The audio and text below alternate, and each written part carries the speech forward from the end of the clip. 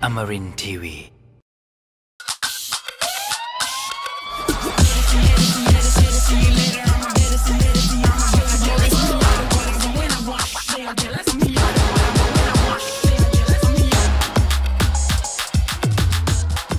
สนับสนุนโดย สันซิลสูตรใหม่ ผมจัดทรงง่าย ปล่อยผมสวยไม่ต้องมัด ดีเซเว่นชาหมักคอมบูชา อร่อย สดชื่น มีประโยชน์ วัสสวัสดีดีครัค่ะบพบกับพวกเราทั้งสองคนในรายการ s ซ d Story แซ่ Sad บฮอลิเด Holiday ย์ทุกวันเสาร์10โมงครึ่งวันนี้ก็ผมหมอกล้องและน้องริตานะอะฮะถูกต้องค่ะ แน่นอนว่าเจอกับพวกเราก็จะมาพร้อมกับเรื่องฮอตเรื่องแซบซึ่งอย่างวันนี้เนี่ยจะเป็นเรื่องราวของใครคุณพี่ท่านหนึ่งที่ครับเรียกว่าเป็นนางงาม อดีตนางงามตัวตึงแห่งยุคเดี๋ยวเดี๋ยวนางงามเป็นตัวตึงได้ตัด้ววย ตัวตึงก็คือแบบมีความตรง มีความพร้อมบวก มีความ จัดจ้านนี่ และที่สำคัญคือเมื่อปลายเดือนที่แล้ว ครับ ออกมาประกาศทางโซเชียลเลยว่า ว่า ตอนนี้โสดแล้วร้อยเปอร์เซ็นต์ อะมุมมองอะ ความรักของเขาว่าวันนี้เป็นยังไง เดี๋ยวเรามาคุยกันนะครับ กับพี่เอชุติมาครับ ถูกต้องค่ะ แต่ก่อนจะไปเจอกับพี่เอชุติมา เนื่องด้วยจากว่าวันนี้อยู่กับพี่หมอด้วย อ่าฮะก็มีเรื่องอยากจะพูดคุยอยากจะมาอัปเดตกันนะคะ ครับเพราะผม ว่าที่ผ่านมาค่ะมีการแชร์เรื่องราวของคุณหมอท่านหนึ่ง ครับ เกี่ยวกับโรคมะเร็งคุณหมอท่านนี้เนี่ยชื่อว่าคุณหมอกฤษไทย ใช่ซึ่งเขาอายุเพียงแค่ 28 ปีใช่คือเขาออกมาแชร์ไลฟ์สไตล์ของตัวเองเลยในเพจที่เขาอะสร้างขึ้น คือเพจเขาชื่อว่าสู้ดิวะอะคือเป็นเป็นนักเรียนแพทย์ครับจบจากเชียงใหม่ ครับมีชีวิตการงานที่ดี เข้ายิมดูแลสุขภาพตัวเองดีทุกอย่างซื้อบ้านและกำลังจะจะแต่แต่งงงางานนด้วย ท้ายที่สุดจบด้วยคำว่าและแล้ว ผมผมก็เป็นมะเร็งระยะสุดท้าย มะเร็งปอดระยะสุดท้าย คือนอกจากนี้ก็จะมีโพสต์ของตำรวจได้รับความสนใจเช่นเดียวกัน อืมก็คือคุณรุ่งคุณจันทโชตนะครับ ค่ะซึ่งตัวเขาเองก็เป็นคนที่ชอบออกกำลังกายอยู่สม่ำเสมอเหมือนกันเลย อืมไม่สูบบุหรี่ด้วยนะครับ อืมแล้วก็จนกระทั่งพบว่าวันหนึ่งมีการปวดแขนด้านขวา อ้าวแล้วก็อืมแล้วก็มีการบวมที่คอ สุดอืมท้ายก็ไปแอดมิดอืมพอแอดมิดเจาะชิ้นเนื้อที่คอไปดูครับ ก็อืม ปรากฏว่าเป็นมะเร็งปอดระยะสุดท้าย เช่นเดียวกัน โอ้โห แล้วก็ลุกลามไปต่อมน้ำเหลืองแล้วด้วย เออ แล้วเขาก็มีการรักษาตัวเองมาใช่แล้วคหรัลาบกก็หลามียการวิธีฉายรังสีนะครับ ก็คืออมตามตามที่แพทย์เขารักษากันไปอืมอืมอืมเจ้าตัวเขาออกมาพูดครับว่าทุกวันนี้ยังหาสาเหตุไม่ได้ว่ามะเร็งปอดที่เขาเป็นเนี่ยมันเกิดจากอะไร ซึ่งเดี๋ยวหลายคนจะเข้าใจว่าอ้าวมะเร็งปอดระยะสุดท้าย มีแต่ผู้ชายผู้ชายมีความเสี่ยงหรือเปล่าครับไม่จริงนะคะ เพราะว่ายังมีอีกหนึ่งคนที่เผชิญกับโรคมะเร็งปอดระยะสุดท้ายเช่นเดียวกัน เธอคนนี้ชื่อว่าคุณโบ ครับ และคือเธอก็มาแชร์เรื่องราวของเธอผ่านในติ๊กต็อกเรื่องราวของเธอเกิดขึ้นยังไงวันนี้ เรามีเสียงสัมภาษณ์ของเธอมาให้ฟังกันด้วยนะคะ ไปฟังกันค่ะ ถ้าหากเรารู้ว่าเวลาชีวิตเรามีจำนวนจำกัด เราอยากจะใช้ช่วงเวลาที่เหลือไปกับอะไร เพื่อนๆ หลายๆ คนคงพอจะรู้กันมาบ้างว่าโบป่วยเป็นมะเร็งปอดระยะที่ 4 คุณหมอบอกว่าไม่มียารักษาให้หายขาด มีแต่ยืดชีวิตไปได้ให้นานที่สุด โบว่าโบคนพบความโชคดีในความโชคร้าย เพราะโบรู้ว่าเวลาชีวิตโบอาจจะไม่ได้ยาวเท่าอายุขัยของมนุษย์ทั่วไป โบเลยเลือกที่จะใช้เวลาทุกวินาทีอย่างมีคุณค่า แน่นอนว่าปฏิเสธไม่ได้ว่าเราจะต้องมีความทุกข์จากตัวโลกอยู่แล้ว ความกลัวเป็นเรื่องธรรมดาของมนุษย์ แต่โบก็พยายามอย่างหนัก ที่จะใช้ชีวิตให้มีความสุขมากกว่าความทุกข์ โบอยากอยู่กับคนที่โบรักและรักโบไปได้ให้นานที่สุด วันนี้โบได้ทำตามความฝัน โบได้แต่งงานกับคนที่โบรัก ขอบคุณที่รักที่กล้าหาญที่สุดในโลก ขอบคุณที่คอยปกป้องความกลัวของโบ ขอบคุณที่เป็นความสุขของกันและกันจริง ๆต้องขอขอบคุณทั้ง 3 ท่านเลยนะครับ ที่นำเรื่องราวมาบอกต่อให้ทุกคนได้รับทราบถึงภัยของโรคมะเร็ง ซึ่งถือว่าเป็นโรคร้าย ที่ฆ่าชีวิตของคนไทยเป็นอันดับหนึ่งเลยก็ว่าได้ จากข้อมูลสถิติ ทะเบียนมะเร็งประเทศไทย โดยสถาบันมะเร็งแห่งชาติ เผยว่าแต่ละปี จะมีคนไทยเสียชีวิตจากโรคมะเร็ง ปีละ 84,697 คน หรือเฉลี่ยวันละ 232 คน รวมทั้งจำนวนผู้ป่วยมะเร็งรายใหม่ ที่เกิดขึ้นปีละ 139,206 คน หรือเฉลี่ยวันละ 382 คน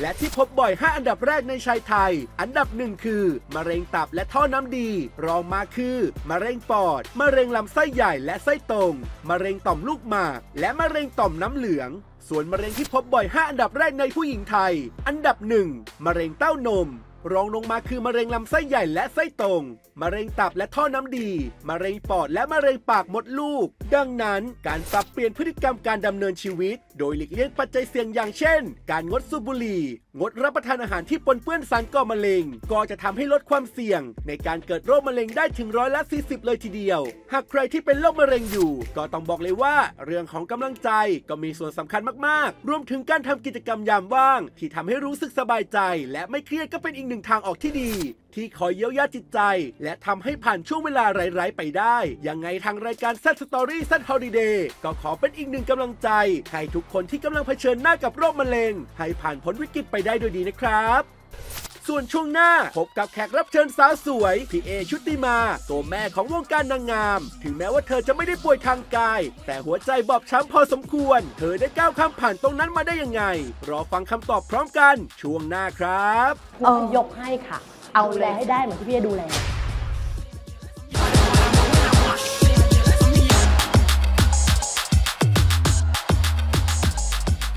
สนับสนุนโดย Panasonic Alkaline พลังไฟยาวนาน 12 เท่า ดื่มดีหน้า ดีทุกที่ ทุกวัน ทุกเทศกาล กลับมาเมาส์กันต่อนะคะ กับรายการ Z Story Z Holiday ค่ะ ต้อนรับแขกรับเชิญของเราอย่างเป็นทางการเลยเมาส์ครักับ นก่อนมาตั้งนานแล้วด้วย พี่เอชุติมาค่ะเออดีครับ เราคุยก่อนเข้ารายการแล้วด้วย ใช่ก็บอกแล้วว่าคนนี้ประกาศโสดจริงจริงๆแบบร้อยเปอร์เซ็นต์ค่ะหลังจากประกาศโสดมาอือฮึ ชีวิตของพี่เอเป็นยังไงบ้างคะ ชีวิตเปลี่ยนมากค่ะ ก็หลายคนบอกว่า เห็นแล้วเราเงียบไปถามเออ หลายๆคนถามว่าทำไมถึงไม่มาพูดอย่างเป็นทางการ ครับ ด้วยความที่เป็นพี่อะคนรู้อยู่แล้วว่าเป็นคนตรงใช่ ใช่ นะมีอะไรจะพูดตรงๆ คือโกหกไม่เป็นครับ เพราะฉะนั้นไม่อยู่วงการนานขนาดนี้อยู่วงการมาทั้งหมดเนี่ยจริงๆคือ37 ปีแล้วนะ อ่าโอ้โหนานมาก ใช่เป็นคนที่แบบไม่ยุ่งเรื่องคนอื่นด้วย แต่เอาเรื่องตัวเองเอาเพื่อเอาไม่รอดอะไรอย่างอ่าเงี้ยพี่เออพี่ไปพี่ ใช่ก็ตอนนี้ก็พอเป็นข่าวอะค่ะ ก็เริ่มมีคนมาบูลลี่ มันมีสองฝั่งนะ จริงครับ เหรอจริง มีบูลลี่ฝากบอกนิดนึงค่ะรายการนี้พูดได้หมดใช่ไหมอะได้ได้ เอเลอยไอ้พวกบูลลี่พวกนั่งหลังแบบเกรียนคีย์บอร์ดอะไรอย่างเงี้ยนะคะ อ่า คือไม่รู้เรื่องเราอย่ามาเป็นพวกเอ่อเสาไฟหรือว่าเสาหัวเตียงนะคะ หรืออยู่ใต้เตียงอ่าขอบอกเลยนะคะ เขาไม่พูดยังไงกับแม่ โอ้ยด่าตลอดว่าไอ้นี่แกแล้วซีเออเอา ซีอะไรต้องชอบเด็กซีหรืออะไรนะคะอุ๊ยเออมันไม่เข้าวัดล่ะอายุขนาดนี้ทำไมต้องแบบเด็ก เด็กก็ต้องทิ้ง คือถ้าเกิดหลาย ๆ คนนะคะบ้านยังมีไฟฟ้าใช้อยู่ได้ดูจ้าทีวีเนี่ยนะคะจ้าจะรู้เลยว่าบอกทุกรายการอยู่แล้วว้าวว่าวันหนึ่งน่ะน้องก็ต้องไป อ้าวใช่เพราะด้วยใช่วัยของเรา เรารู้วัยของเราแล้วการที่ห่างกัน31 ปี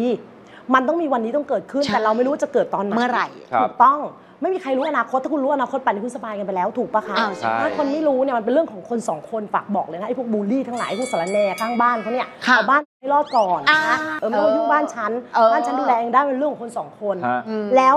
คนก็มองว่าแบบเฮ้ยแล้วทำไมต้องเลิกแบบเกิดอะไรขึ้นอะไรอย่างเงี้ยนะคะ ก็คืออยากจะบอกว่าเป็นเรื่องของคนสองคนและอย่างหนึงคือตัวพี่เองเนี่ยบอกทุกรายการอยู่แล้วว่าวันหนึ่งอะน้องก็ต้องไปแต่เราก็ใช่ไม่ให้บอกตั้งแต่แรกเจอกันเพราะน้องทุก็คด้วยวัยพูเขาแตกต่างเขาก็ต้องมีครอบครัวแล้วเราเนี่ยโมโนพอสประจำเดือนไม่มีแล้ว ดังนั้นมีลูกเขาไม่ได้อยู่แล้วอืมครับน้องก็ต้องมีครอบครัวซึ่งเรายังบอกเลยว่า ถ้าเขาเจอผู้หญิงที่ดีวันเขาแต่งงานเรายังจะไปเลยนะเราก็เป็นเหมือนแม่ใหญ่ให้อะไรอย่างเงี้ยอ่าก็พูดทุกรายการนะ พูดมาหลายปีแล้วนะแต่ใช่เขามาแล้วปีนี้ขึ้นปีที่ 7 แล้วคบกับน้องอืมมันเป็นเหมือนเจ็ดปีอาถรรพ์เออเป็นอะไรก็ไม่รู้คนเก่าก็เลิกปีที่ 7 พอดีอ่าปีนี้ก็ปีที่ 7 พอดีอ่าครับซึ่งเราก็ทำใจ คือมันอยู่ที่ตรงที่เลิกหลายคนถามว่าสาเหตุคืออะไรสาเหตุคือเราเป็นคนไม่ค่อยดื่ม อืมน้องด้วยวัยรุ่นปีนี้น้องเขายังมีแรงจะออกไปสังสรรค์ยังมีแรงอยู่นะมันเป็นวัยเขาเดียวอะเนอะ24 เขาไม่ได้มีแรงแค่นั้นสิ 24 ของเขาคือเขาไม่ได้แฮงเอาท์เหมือนพวกเราแฮงตอนเด็ก ๆ วัยรุ่นนะครับหรอเขาแฮงทุกวันเขาชอบอ่า เขากลายเป็นคนติดดื่มติดเที่ยวกับเพื่อนอืม ลองคิดถึงสภาพจิตใจเรียกว่านะ วิถีชีวิตอาจจะแตกต่างอะกันถูเนาะ ก คนที่บูลลี่เอลองคิดถึงสภาพจิตใจใจเข้าใจเรา ถ้าวันหนึงคุณมีแฟนแล้วแฟนคุณเที่ยวทุกคืนถึงว่างถึงว่างถึงสว่างทุกวันแล้วคุณนั่งรอ คุณจะรู้สึกไงอะ มันไม่ไหวไง มันหนึ่งไม่ไหวแล้วความไว้ใจมันน้อยลง เมื่อกี้เออผมชอบที่พี่เอบอกว่ามันเป็นเรื่องของคนสองคน ถูก คือมันเป็นเรื่องของคนสองคน เพราะฉะนั้นคนที่มาวิจารณ์น่ะก็ต้องรู้ว่ามันเป็นเรื่องของเขาสองคน คือจริง ๆอะเสนอความคิดเห็นน่ะไม่ได้ผิด ไม่ได้ผิดไม่ได้ใช่แต่อย่ามาตัดสินคนอื่น แล้วก็อย่าหยาบคายด้วยนะที่สำคัญ ใช่ แล้วพอเลิกกับคนเนี้ยมุมมองความรักแม่เปลี่ยนไหม เปลี่ยนเดี๋ยวเล่าวันที่สภาพก่อนออกมาแล้วมั่นใจมากเออฉันโอเค ฉันแกร่ง เธอความเป็นจริง ฉันอยู่ในรถปั๊บเพื่อนเปิดเพลงว่าเฮ้ยน้ำน้ำตาตาล่วงไหลตายแล้วโทรที่วันเล่นมิวสิกวิดีโออีกอะร้องให้ทิชชั่วจำได้เลยอะอันหนึงไม่พอร้องบนอกเพื่อนจนน้ำตานั้นจนส่วนฟ้องเองก็ไปหาเพื่อนเราก็ร้องให้เหมือนกัน คือต่างฝ่ายต่างร้องเขาก็ขอขอโทษเรามาตลอดเขาก็แบบอืมให้เราให้โอกาสเขามาเดือนหนึงเต็มๆเลยนะเราเป็นคนตัดเราตัดเลยนิสัยเราเราบอกกับฟ้องแต่วันแรกเราบอกกับแฟนแต่วันแรกว่า คนอย่างเอรักใครรักมากรักสุดชีวิตไม่ตุกติกไม่เจ้าชู้ ไม่อะไรเลยเป็นผู้หญิงที่แบบซื่อสัตย์มากอืมแต่ถ้าวันหนึ่งเอไปเอจะไม่กลับมาอีก แล้วไอซูออกมาตัวเองห้าวันไม่ใช่ห้าวันเจ็ดวันแรกน้ำหนักลดประมาณโอ้โหจริงแต่นี่ผอมลงเยอะเลยน้ำหนัอะกลดคือลดอยู่แล้วลดด้วยความเป็นพรีเซนเตอร์อยู่แล้ว แล้วลดหวบลงไปลดหวบอีกลงไปอีกด้วยความกินอะไรไม่ได้จริงๆมันตรอมใจ แม่ผ่านวันเหล่านั้นมาได้ยังไงก็เลยอยากมจะองบอกเราอะหลายๆคนนะที่ผ่านได้เพราะหนึ่งอืมรักตัวเองให้เป็นครับอืม รักตัวเองให้เป็นแล้วอย่างอย่างไม่เอเองอะเป็นคนเตรียมพร้อมเรื่องนี้อยู่แล้ว ว่าวันหนึ่งมันต้องไม่ใช่ด้วยอายุมันต่างกัน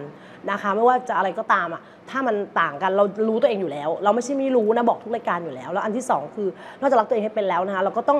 คิดบวกตลอดเวลาครับแล้วก็เลิกกันก็เลิกกันด้วยดี ตอนเนี้ยที่ห่วงที่สุดกับน้องเขาที่เอทำใจได้แล้วเนี่ยนอกจากอยู่กับตัวเองให้เป็นนะคะคิดบวกแล้วสวยค่ะทำสวยทำงานตลอดเราต้องรัดูแลงานตัวเอง รับงานเยอะมากงานะนคะเยอะ อย่าปล่อยตัวให้โซมฟังไว้นะคะ ใครที่ตอนนี้เพิ่งเลิกกับแฟนหรือกำลังเลิกกันหรือมีปัญหาความรัก อย่าปล่อยตัวให้โซมค่ะ อย่าทำตัวให้แย่ อย่าประชด อย่ารีบมีใครอย่าเอออย่ารีบมีใครนี่ไง ผมกำลังจะถามเลยอย่าว่า ใจร้อนไม่นะ เดี๋ยวนี้เสือปลาจระเข้ไม่นะคะไม่ได้ไม่ดีเนาะ ไม่ดีตอนนี้ จังหะ ใช้เวลากับตัวเอง ตอนนี้คนจีบเยอะมาก เอาจริงๆคนจีบเยอะมากไม่ว่าจะเป็นเพศไหนก็ตามไม่ว่าจะเป็นทอมด้วยนะคะ หรือจะเป็นผู้หญิง ผู้หญิงเป็นผู้หญิงสวยๆนะคะ แล้วก็มีผู้ชายด้วย แล้วก็มีฝรั่งด้วยนะ จีนอีก คือเยอะมากเพราะว่าข่าวมันออกนะคะ แล้วก็เยอะมากๆแล้วก็บอกว่าเออเรายังไม่พร้อม บอกตรงไม่ได้ว่าเล่นตัวหรือว่าเย่อหยิ่งนะยังไม่พร้อมจะมีใครจริง ๆ ค่ะ อาจจะเป็นเพื่อนได้แต่ว่าให้เอ็มมานั่งมันันบต้องหนึ่มีเวลาตกตะกอนกันหน่ใช่อยแล้วเราอายุเยอะแล้วให้เอ็มมานั่งนับหนึ่งอาคิดดูอายุห้าสิบห้าอาคิดตามไปเลยนะคะเดี๋ยวครับครั้งหน้าเดี๋ยวมีข่าวอีกจะได้คิดคิดได้นะคะบางคนบางคนนะคะมีก่อนคอมเมนต์นะคะเออบางคนมีหูไว้แค่ขั้นสมองอะคิดตามไม่เป็นไงสมองกลวงอะสอ่ามองสมองกลวงอะเออเอออันนั้นเขาเรียกว่ามีหูไว้ขั้นสมองแต่หูเฉยๆอะสมองมันไม่มีไงมันเลยกลวงมันเลยถ้าคิอดย่างตามนั้นไม่คิดเป็นตามไปห้าอะสิคิบดตาห้ามอะคิดตามไปนะ ผู้หญิงในวัย55เนี่ยอะถ้าเราจะเริ่มมีใครสักคนนับหนึ่งอืมคุณคิดดูเด็กกว่าจะเราเป็นผู้หญิงไม่ใช่ใจร้อนเริ่มทำความรู้อะจักถูกกว่าจะนั่งกี่ปีกี่ปีคิดดูใช่นะปีสองปีอะเลถูยกอะ ถึงฉัน58 แล้วถ้าเจอผู้ชายมาหลอกฉันอีกหรืออะไรไม่ดีสมมติเอาว่าแต่ไม่ดีแต่คนสมัยนี้อาจจะเวลาสั้นไม่เหมือนเราพี่ เอออย่างเงี้ยสมมติอย่างเงี้ยเราไม่อยากเสียใจอีกแล้วไงเราอยากหาคนที่พร้อมไปด้วยกันทำงานไปด้วยกัน แล้วก็เติบโตด้วยกัน แล้วก็มีสร้างอนาคต มีไม่ดีไม่มีดีกว่า คือถ้าไม่ดีอะไม่มีดีกว่าอืมนะอืมไม่ใช่ว่าฟ้องเป็นคนไม่ดีนะฟ้องก็เป็นคนดีแต่ว่ามันเขามีบางอย่างที่เข้ากันไม่เขาเด็กได้ไลฟ์สไตล์เขาไลยังฟ์สม่ไตด้ล์ปเขาเด็กวยนและอย่างก็มีเรื่องผู้หญิงเข้ามาแล้วผู้หญิงคนนั้นก็เป็นผู้หญิงคนเดิมที่มีปัญหาจะเดิมแล้วเดิมอีก ไม่ผู้หญิงคนเดิมจริงๆที่มีปัญหากับพี่ปีที่แล้ว อ๋อกลับมาอีกเหรออืมมันก็สุดจะทนนะเธอก็ยังรอเนาะทั้งๆที่มีคนอื่นเธอก็ยังรตออนนั้นเราก็ะสัมภาษณ์เรื่องนี้กับพี่ ใช่ใช่เธอก็หมีนึ่คนงปีเธผ่าอนก็ไปมีคนอื่นอยู่แล้อะวเขาก็ยังรอคนของเรานะเออยกให้ค่ะเอาดูเลยแลให้ได้เหมือนที่พี่เอดูแล อะนะส่งคะมือให้พี่เอรักพี่เอน้องแข็งแรงให้มาก ได้เหมือนที่เอรักน้อง เออ รักน้องด้วยชีวิต รักน้องด้วยการให้น้องมีอนาคตให้น้องเรียนให้จบเลยแค่ 4 ตัวน้องจะจบแล้ว อยากให้ดูแลน้องให้ดี แล้วก็ส่งเสริมให้น้องมีอนาคตหน้าที่การงานแล้วรักน้องเหมือนที่เอรัก รักเหมือนด้วยชีวิตรักด้วยความที่แบบ ไม่ต้องคิดว่าจะได้ผลประโยชน์เลยจากน้องอะรักด้วยใจรักด้วยแบบ มันรักและหวังดีแหละเออ พูดแล้วก็จะร้องไห้นั่นแหละ ใครเอาไปอะไม่แล้วก่อนไม่ค่อยพูดนั่นแหละ ดูแลให้ดี ดูแลให้ดีใช่ดูแลให้เหมือนกับที่ฉันดูแลเขามาอืมก็ขอให้เขาโชคดีอืมไม่ได้ว่า เออจะต้อง หวงหรือหรือต้องว่าวอนให้เขากลับมา หรือว่าต้องมาออกรายการดราม่ามันไม่ใช่ค่ะ แต่ความรู้สึกคือรักแล้วก็ อยากให้คนที่เขารักคนต่อไป ให้รักได้เหมือนที่เอ้รักอืมแค่นั้นเองเข้าใจ รักและหวังดีนี่คือความรักที่ดีที่สุดแล้วรักและปรารถนาดีรักและให้น้องมีอนาคตที่ดี นั่นคือความรักที่ดีที่สุดเป็นความที่บริสุทธิ์ที่สุดแล้วค่ะ จริงๆไม่ได้ไม่ได้เสียใจหรือไม่ได้ห่วงอะไรค่ะ แค่ห่วงอยู่ห่างๆขอให้ฟ้องมีอนาคตที่ดีขอให้ฟ้องโชคดี เจอรักที่ดี แค่นั้นจริง ผมว่าอันนี้มันเป็นบทเรียนให้กับรุ่นน้องอย่างพวกผมนะ ว่าใช่เมื่อวันที่เจอปัญหาเราแม้ว่าจะต้องเจ็บปวดอะไรก็ตามนะครับ คุณผู้ชมอืม move on สำคัญเพราะว่าชีวิตคนเราต้องก้าวต่อไปอืมจะจมอยู่กับปัญหาแล้วก็ยืนอยู่ตรงนี้ไม่ได้วันนี้ผมโดยส่วนตัวผมขอบคุณพี่เอมาก แล้วนี่จะเป็นช่วงปีใหม่ด้วย ทุกคนไม่ได้ว่าก้าวผ่านปีใหม่ด้วยความรักที่สวยงามค่ะ เพราะฉะนั้นใครที่กำลังรู้สึกทุกข์ใจไม่ประสบความสำเร็จทางด้านความรัก หรือแม้แต่กระทั่งโดนคนที่คุณรักที่สุดนอกใจครับคุณก็ดูตัวอย่าง การมูฟออนในชีวิตให้มีความสุขและดูแลตัวเองให้สวยขึ้นสวยขึ้นทุกวัน ใช่ ล่าสุดก็มีคลิปออกมาให้หลายคนติดตามทางโลกโซเชียลมากว่าแบบเป็นอาคุณแม่ อดีตนางงาม อืมขึ้นเวทีกล่าวกับพี่เลี้ยงนางงามอ๋อครับท่านหนึ่งกรรมการแต่ สรุปแล้วเรื่องมันจบไหม สรุปแล้ววันนั้นน่ะใครแยกก่อนและเกิดอะไรขึ้นหลังจากคลิป ถ้าอยากรู้ติดตามช่วงต่อไปแต่สตอรี่แต่ฮอลิเดย์อะส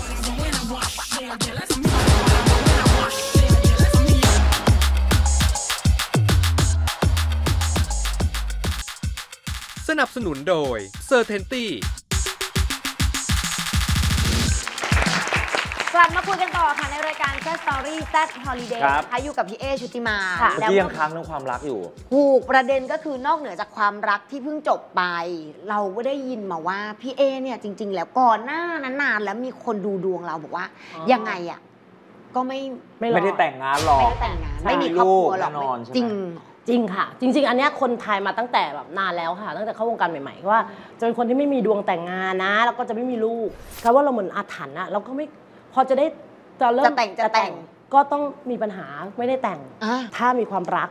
งานก็อาจจะไปเรื่อยๆ ไม่ได้ว่าถึงแย่ก็คือหมายนะถึคะ งว่าต้องเลือกเอาดีสักเรื่องเดียวใช่เนี่ยมันจะไม่รุ่งไม่ปังคือคือมีความรักก็อาจจะแบบว่างานก็ก็มีเรื่อย ๆ แต่ว่าไม่ได้แต่จะว่า dropหน่อยครับดรอปหน่อยนะคะก็ยังมีงานปกติ อืมแต่เมื่อไหร่ที่เราไม่มีความรัก งานเราจะรุ่งมากแล้วก็รุ่งจริงๆทุกอย่างแล้วงานปังมาก ๆ เลยไหมปังมากตอนนี้ก็มีละครล่าสุดก็ไปเล่นกับน้องเจมส์จิมาเอ้ยเอ๊ะ ฉันแบบว่าน้องเจมส์จิท่านน่ารักก็เล่นฟัดลูกสุดฤทธิ์เลยค่ะ แกล้งในเรื่องอะอืม คือบทอะไม่มีบทมี เพิ่เองอ๋อนี่เขาเป็นแม่ลูก นึว่าเพิ่มไม่ใช่เองแม่ลูฟักดหรือต้องดูเองเขาห้ามเล่าเรื่องเนี้ยบทเรื่องนี้สนุกมากน้องเจมส์จิเปลี่ยนคาแรคเตอร์ครับอ่าโอ้โหสนุกมากสนุกมาก แล้วก็อีกเรื่องเล่นเป็นสายวายก็เล่นเป็นเจ้าแม่บาร์โฮสนะคะอ่า สายวายก็คือซีรีส์วายผู้ชายรักชาย คุมครับบาผมไปกุมบาร์แล้วก็จะมีคุบาเรื่องใหม่ ๆ อีกค่ะอีกสองเรื่อง ก็ปีนี้ก็จะรับละครเยอะมาก วันนี้วันเดียวแม่ทำงานสี่สี่ที่ที่ คุณผู้ชม ปังแค่ไหนลงตอนนี้ก็ดู ใช่ แต่ว่ายังมีบางวันว่างอยู่นะ อีเวนต์รับอยู่ติดต่อเข้ามาติดต่อเข้ามาได้ถ้าแม่แม่วิ่งได้แม่วิ่งใช่เราพูดคำเดียวร้องเพลงได้พิธีกรได้ได้ร้องเพลงได้พิธีกรได้ทำอาหารโชว์ได้ได้ได้ตอบไม่ได้ ไปเป็นไปเป็นกรรมการนางงามก็ได้ เอาใจก็คือเนี้ยเป็นนางงามแหละอืมแล้วก็เป็นผู้ใหญ่ในวงการนางงามการประกวดใช่ก็ครับเลยระยะหลังเนี่ยมีคนแบบอยากเชิญแม่ไปแบบถูกถูกช่วยไปตัตัดดสินสินให้ถูกถูกหน่อยค่ะซึ่งอะ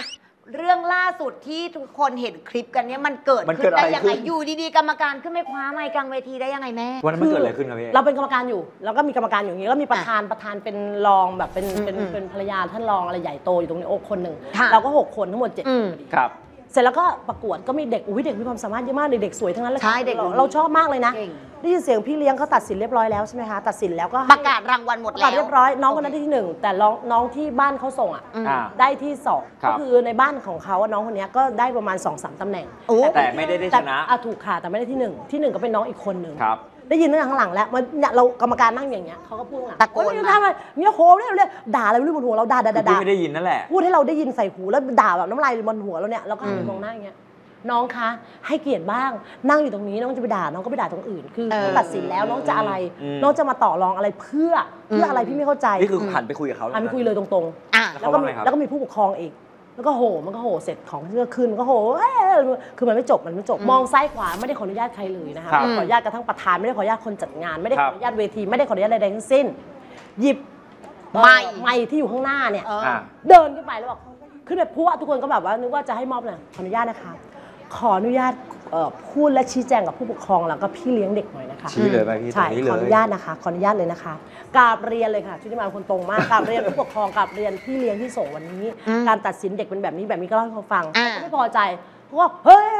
แล้วเขาก็ถอดถอดเสื้อที่ประกวดอะมันจะมีเสื้อประกวดของของมินิยูนิเวิร์เสื้สอของเนาะกองครับ ถอดมาเคลี้ยงเหยียบกันใหญ่เลยอะมารยาทแย่มาก หมายถึงของพี่เลี้ยงของใช่ไหมพี่เลี้ยงคะคือถ้าตัดภาพจากเราไปตรงไปตรงพี่เลี้ยนู้นเยอะอืม คือจะเห็นอะไรเยอะกว่านี้ แต่เพราะเอิญเราไม่ตัดเขาเป็นการแบบเหมือนไม่ดีไม่ดี มันไม่ได้อะค่ะอะเดี๋ยวเห็นหน้าเราเห็เห็นนอะไรว่าเขามันไม่ดีวยเป็นพรบคอมด้วยเนาะอืม เสร็จครับปั๊บเนี่ยเราก็เลยมีความรู้สึกว่า เฮ้ยมันไม่ถูกต้องอธิบายให้เขาฟัง อธิบายอืมด้วยเหตุผลความใจเย็นสุดๆ เพราะเวทีเป็นเวทีเด็ก พี่ก็พูดแต่มันก็โหโหจนพี่แบบไม่ไหวแล้วจนพี่บอกอืมเอาก็แล้วแต่จะคิดคือแล้วแต่เอาเอาอยากคิดคือเราไม่อดทนสามารถเปลี่ยนอดทน mindset ที่เขาได้แล้วเอเพราะว่าอ mindset เขาเป็นแบบนั้นกูจะเปลี่ยนยังไงก็ไม่ได้ต่อให้พูดชั่วโมงเขาไม่รับก็เขาไม่ไม่รัฟับงเราก็เลยลงมา ก็เลยลงมาเชื่อเลิศๆก็แบบว่ามอบตำแหน่งเสร็จแล้วลงมาปั๊บ เสร็จแล้วลงมาเราขอเข้าห้องน้ำก่อนเพราะลงมาเนี่ยพี่เขาลูกน้องๆก็ยังอยู่ตรงนั้น ครับเราเข้าห้องน้ำเขาก็ตะโกนว่าโทรไม่แน่จริงอะลงมาแล้วไม่มาเคลียร์กับเขาล่ะอืม ก็เลยเดินมาเดินมาถามมีปัญหาอะไรไหมคะน้องจบหรือยังกดมันก็กลับบ้านกันหมดเลย ไม่คุย อะอะยังไม่คือไม่กล้าเคลียร์กับเราอืมก็รู้ว่าเราเป็นคนตรง เราก็เดินมาถามว่าจะปัญหาอะไรเกิดขึ้น คือด้วยคุณต้องเคารพอันแรกกรรมที่มาประกวดนะการใช่ ใครก็ตามนะคะ ที่เอาน้องๆมาประกวดจะเป็นพ่อแม่ผู้ปกครองหรือหรือเอ่อหรือพี่เลี้ยงก็ตามที่ฟังรายการนี้อยู่ อืม อย่าทำตัวเป็นพ่อแม่รังแกฉันใช่ นะคะอืมก็ส่งเราอยากให้เจอเด็กคุณภาพจริง ใช่ๆ เราเป็นคนตรงจริงๆนะครับ ตรงมากๆด้วยอาจมันจะแบบ คือคนชอบคิดว่าแบบมีการใต้โต๊ะหรือเปล่า มันเป็นอคติอืม ก็คือเราก็อยากเห็นคนของเราชนะนั่นแหละ ใช่แต่เข้ามาประกวดแล้วต้องให้เกียรติกรรมการ ใช่และก็ต้องเคารพกติกาการตัใช่ดสินค่ะ อืมพี่เอครับ ตอนนี้เนี่ยคือกระแสของนางงามแรงมากปีหน้าเดี๋ยวต้นปีเนาะปีหน้าก็เพราะว่ามีแข่ง หลายเวทีมากเลยใช่ แต่พี่เอนี่ก็เรียกว่าเป็นเป็นกูรูหนึ่งแล้ว ในตำนานอะใช่ค่ะนางสาวไทย ใช่ ปี ใช่ค่ะ2530พี่เอมีอะไรจะฝากถึงน้องๆ นางงามในยุคนี้ไหมซึ่งถือว่าจริงๆ แล้วคือมัน ค่อนข้างแตกต่างกันแตกต่างไหมากก็ฝากบอกน้องๆนางงามปีนี้ไหม ปีนี้นางงามก็อาจจะเปลี่ยนไปรูปแบบมันก็เนาะตามยุคตามสมัยถูกไหมคะ จะมานั่งแบบประกวดเหมันรุ่นเก่าๆอย่างพี่ไม่ได้ มั่นใจตัวเองดีที่สุดนะคะแล้วก็อย่าแบบให้รู้จักเนี่ยอย่างที่พี่เอสอนรู้แพ้รู้ชนะ อย่าแข่งกันแบบว่าจะต้องชนะตลอดอืม คำว่าชนะตลอดมันไม่มีหรอกค่ะ อย่าไม่ต้องไม่ต้องไม่ต้องไปประกวดแล้วหวังว่าจะต้องได้ได้ได้ทุกคนอะถ้าคุณหวังสมมติคุณประกวดร้อยคนหวังว่าได้ทุกคนมันมันก็ ร้อยตำแหที่น่งหนึ่งไม่ร้อยพอตำแหน่งต้องไม่ได้ แล้วมันก็จะกลายเป็นการแข่งแย่งชิงดีกันผู้หญิงอยู่กับผู้หญิงอะค่ะบางทีมันก็จะมีการอิจฉาริษยากันด้วยอะไรอย่างเงี้ยอ่าก็เลยอยากจะบอกว่า อยากให้ประกวดด้วยความแบบ อยากได้ประสบเต็มที่ของเราใช่ไหมใช่แล้วได้ประสบประสบการณ์ประสบการณ์ใหม่ในชีวิต คุณจะได้ไม่ได้ไม่รู้แต่คุณได้ประสบการณ์คุณได้เพื่อนค่ะ คุณได้มิตรภาพนี่คือสิ่งที่เลิศที่สุด มิตรภาพในกองประกวดที่เราเราเราหาซื้อที่ไหนไม่ได้อะอืมครับค่ะ ก็เป็นกำลังใจให้น้องทุกคนทุกเวทีนะทุกคนสวยหมดงามอย่างไทยสวยทุกคนค่ะพี่ดูหลายเวทีแล้วสวยมากอืมคุณครับเสียผมมากเลยนะคะเออเป็นกำลังใจให้ทุกคนนะคะสู้ๆนะคะ แล้วก็มีแพ้ต้องมีชนะค่ะครับผมค่ะก็เป็นคำแนะนำและก็เป็นกำลังใจจากรุ่นพี่ที่มอบให้รุ่นน้องใช่คือคนปัจจุบันมั่นใจแล้วอย่าลืมทำตัวน่ารักด้วยใช่ถูกจต้องริงๆ มันมันต้องไปด้วยกันครับซึ่งผมแน่นอนว่าท้ายที่สุดพี่เอบอกแล้วว่างานเยอะ พี่มากเอฝากผลงานหน่อยติดตามพี่เอได้ทางไหนนี่ยังไลฟ์สดอยู่บ้างไหมยังไลฟ์คะสดอยู่ค่ะ ถ้าใครเกิดอยากจะซื้อของนะคะ ก็มาเข้ามาไลฟ์สดของเอได้หรือไม่ก็ TikTok เอได้ชุติมาเอนะคะค่ะเข้าไปใน IG ก็ได้เฟซก็ได้ ตอนนี้ยังไลฟ์สดขายของตลอดค่ะครับเป็นแม่ค้าออนไลน์ค่ะ ชอบมาก คุณลูกค้าค่ะคุณลูกค้าขาเออยังเป็นคุณลูกค้าค่ะขาแล้วซึ่งแน่นอนว่า วันนี้เราได้รับเกียรติจริงๆ พี่เอก็มาเปิดใจแล้วก็ครัมาบผมฝากข้อคิดดีๆ ให้กับลูกๆหลานๆน้องๆ ในวงการหลายๆ คนด้วยขอบคุณพี่เอขอบด้วยคุณพี่ค่ะ เอมากครับผมอยากหลายอารมณ์เลย จริง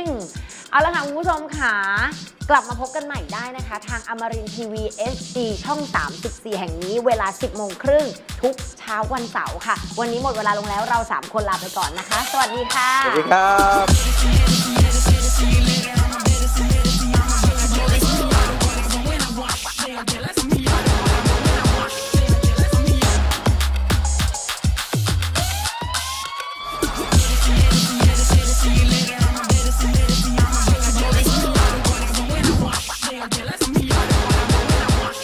Amarin Tiwi.